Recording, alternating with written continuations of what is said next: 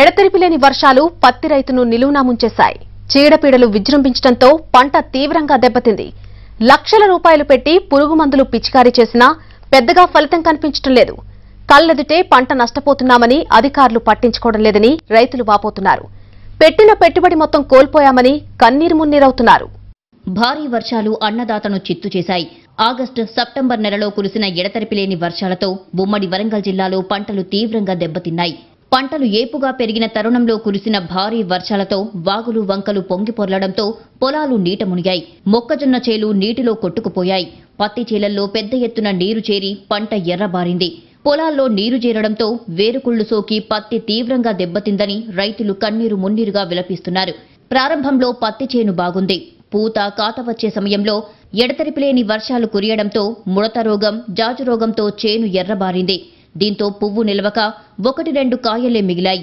పత్తి దిగుబడి పడిపోవడంతో రైతుకు తీరని నష్టం వచ్చింది వర్షం ఉధృతి తగ్గిందనుకునే సమయానికి గులాబీ రంగు పురుగు విజృంభించింది. కాయను తినేసి నాశనం చేసింది. దీంతో గుడ్డి పత్తి రావడంతో రైతులు తీవ్రంగా నష్టపోయారు.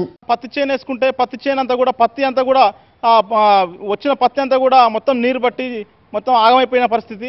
అధికారుల దృష్టికి తీసుకెళ్ళి ఇప్పటివరకు అధికారులు కూడా కనీసం ఇంత పత్తి ఖరాబ్ అయింది ఇంత ఒడ్లు ఖరాబ్ అయినాయి ఇంత వరిషాన్ని ఖరాబ్ అయిందని చెప్పేసి కనీసం లెక్క తీయని లెక్క తీయని పరిస్థితి ఇలా వ్యవసాయ అధికారుల పరిస్థితి చూస్తే ఉమ్మడి జిల్లాలో ఈసారి ఏడున్నర లక్షల ఎకరాల్లో పత్తి సాగు చేశారు. జయశంకర్ మహబూబాబాద్ వరంగల్ రూరల్ జనగామ జిల్లాలో పురుగుల ఉధృతి అధికంగా ఉంది. ములుగు వరంగల్ అర్బన్ జిల్లాలో కాయతొలుచు పేనుబంక పురుగులు సోకి తీవ్ర నష్టం జరిగింది. ఈసారి పూత పిందెల దశలోనే గులాబీ రంగు పురుగులు ఆశించాయి. గులాబీ రంగు పురుగు ఆశించిన పంటలో గుడ్డిపూలు రావడంతో పంట దెబ్బతింది. పంటను పింక్ బోల్వామ్ నాశనం చేస్తున్నా అధికారులు ఎవరూ పట్టించుకోవడం లేదని రైతులు వాపోతున్నారు. ఎకరా పంటకు ఇరవై ఐదు వేల రూపాయల వరకు పెట్టుబడులు పెట్టామని ఇప్పుడు రూపాయి కూడా వచ్చే పరిస్థితి లేదంటున్నారు రైతులు.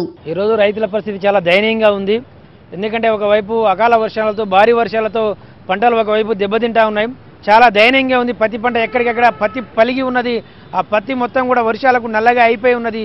అనేక రకాలుగా అప్పులు తెచ్చి పంట పెట్టుబడి పెట్టింది కాబట్టి వచ్చినటువంటి దిగుబడిని అమ్ముకుంటే తప్ప సకాలంలో అమ్ముకుంటే తప్ప తెచ్చినటువంటి అప్పు తెచ్చుకున్నటువంటి పరిస్థితి లేదు కాబట్టి నియంత్రణ సాగు విధానంలో పత్తి పంట సాగు చేయాలని ప్రభుత్వం ప్రోత్సహించడంతో అధికంగా పత్తి సాగు చేసినట్లు రైతులు చెబుతున్నారు. ఈ పంటకు వేలాది రూపాయల పెట్టుబడులు పెట్టి నష్టపోయామని తమను ప్రభుత్వమే ఆదుకోవాలని రైతులు కోరుతున్నారు. లేకుంటే తమ పరిస్థితి దయనీయంగా మారుతుందని ఆందోళన వ్యక్తం చేస్తున్నారు. మూడేళ్ళ క్రితం పంటపై పెద్ద ఎత్తున దాడి చేసిన గులాబీ పురుగు ఈసారి మరింతగా విజృంభించే ప్రమాదం కనిపిస్తోందని శాస్త్రవేత్తలు చెబుతున్నారు.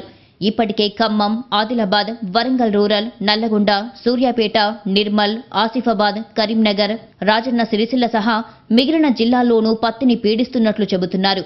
ప్రస్తుతం పురుగు ప్రారంభ దశలోనే ఉన్నా మున్ముందు దీని విస్తరణ మరింత వేగవంతం కానుందని హెచ్చరిస్తున్నారు. ప్రస్తుతం వర్షాలతో తెగుళ్ళకు అనుకూల సమయం ఉండడంతో పురుగుల ఉధృతి కొనసాగుతుందని శాస్త్రవేత్తలు చెబుతున్నారు.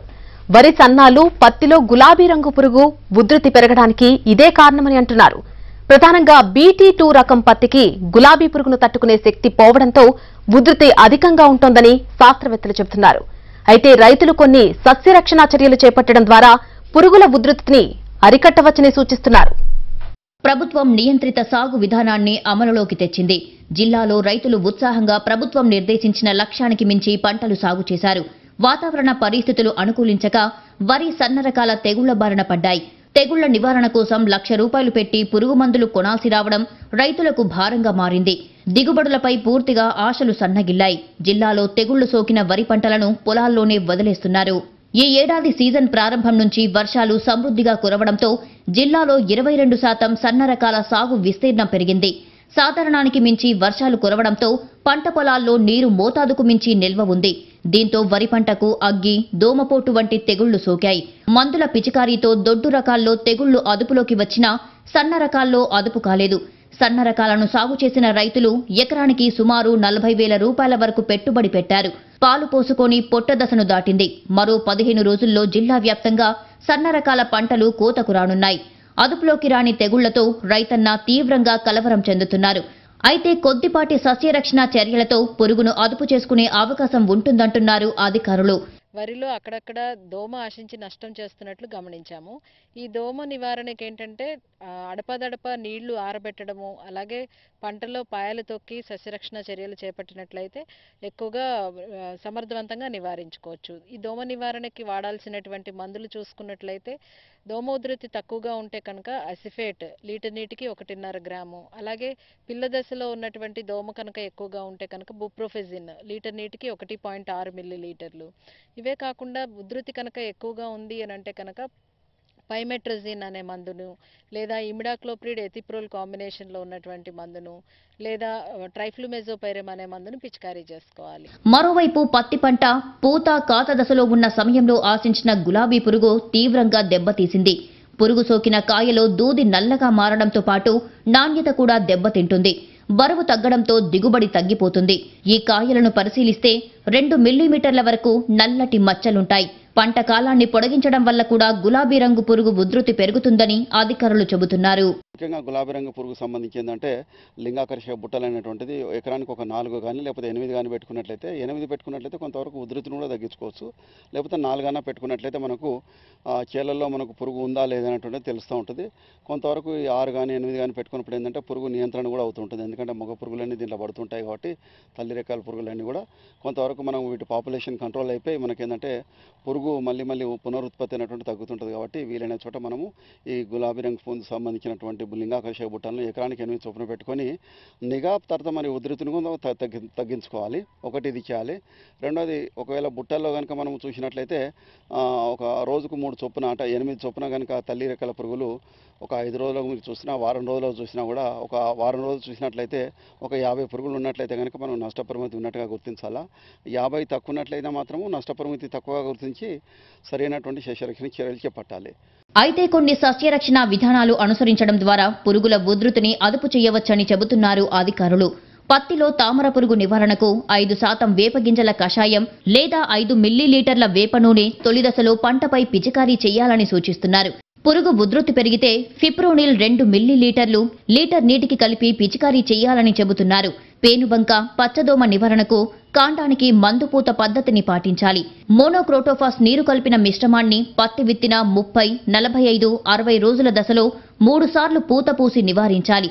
పత్తిలో గులాబీ రంగు పురుగు కాయతొలుచు పురుగు ఉధృతికి పంటలో ఎకరాకు నాలుగు నుంచి ఎనిమిది లింగార్చక బూట్లు పెట్టాలి. వరుసగా మూడు రోజులు ఐదు నుంచి ఎనిమిది రెక్కల పురుగులు పడితే లీటర్ నీటికి ఐదు శాతం వేపగింజల కషాయం లేదా వేప నూనెతో కలిపి పిచికారీ చేయాలి. మరి లాస్ట్ ఇయర్ గులాబీ రంగు పురుగు ఆశించింది కాబట్టి ఈ సంవత్సరం కూడా పత్తిని ఆశించడం జరిగింది. ముఖ్యంగా ఏంటంటే ఇది పూత దశలో ఉన్నప్పుడే పువ్వుల్లోనే ఆశించి చిన్న కాయలు అయినప్పుడు చిన్న చిన్న రంధ్రాలు చేసి లోపలికి వెళ్తాయి.